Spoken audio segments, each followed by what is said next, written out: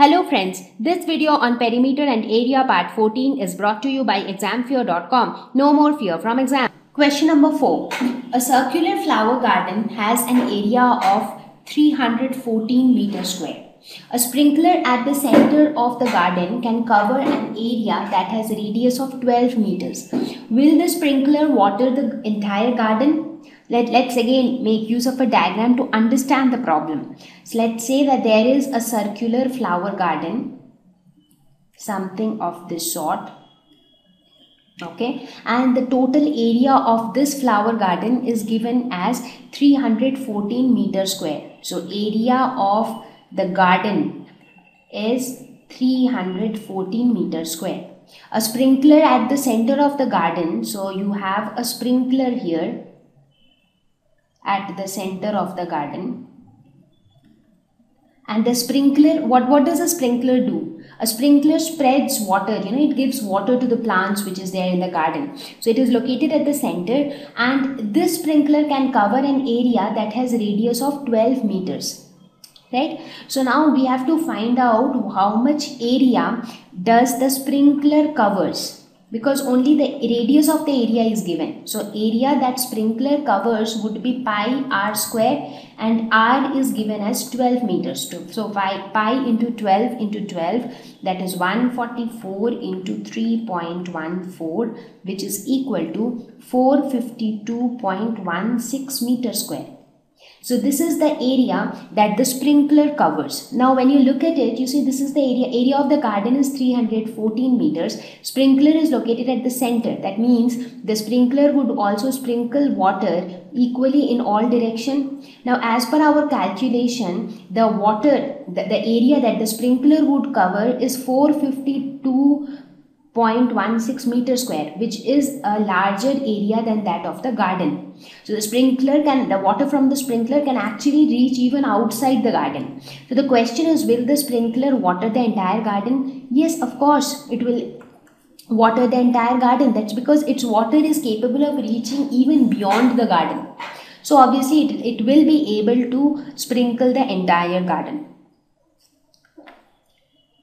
Question number 5 how many times a wheel of radius 28 centimeters must rotate to go 352 meters?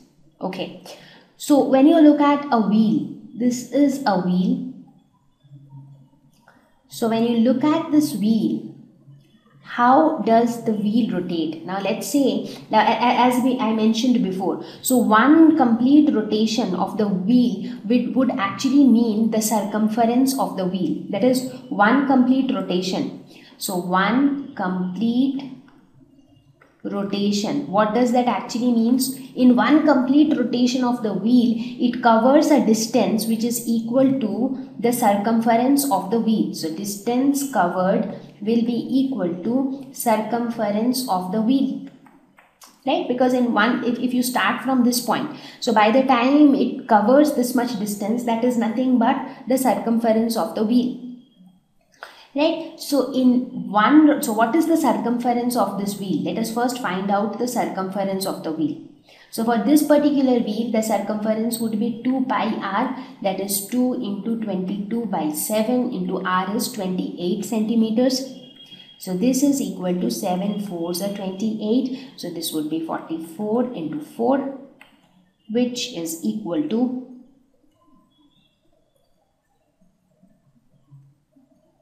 176.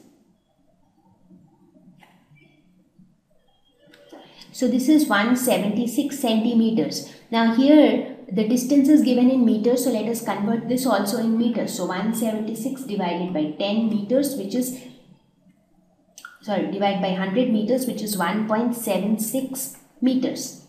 So this is the circumference of the wheel. So now